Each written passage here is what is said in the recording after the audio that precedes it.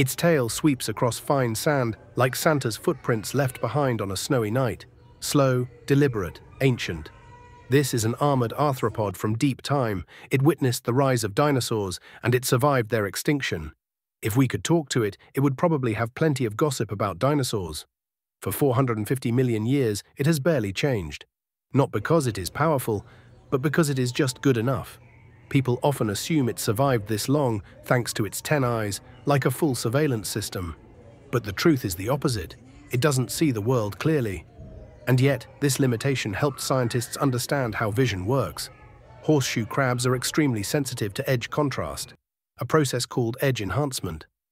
By studying this, scientists learned how the human brain processes visual signals. This research earned the 1967 Nobel Prize in Physiology or Medicine. At the front of its shell are two central eyes, biological timekeepers that sense changes in light, telling day from night. Above them sits a third eye. 2 plus 1, three ultraviolet navigation units.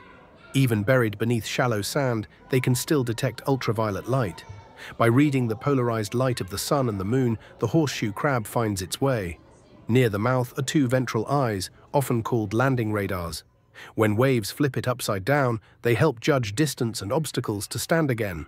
On the tail, three light sensors stand guard. When a predator's shadow passes overhead, they send an instant alarm to the brain. These ten eyes were never meant to admire the world. They exist for one reason only, to track the moon, the tides, and the moment of reproduction. It doesn't see the world. It sees only one question. Is now the time to be born? Each spring, during the full or new moon, when tides run highest, the signal is clear. Go home. They can smell the unique sediments and chemical signatures of the beach where they were born. This powerful homing instinct ensures the next generation is born in a place already proven by time, drifting thousands of miles just to return to that first beach. To it, the most beautiful Christmas tree in the world is the reed swaying along its home shore. Home has been the only coordinate for over 400 million years,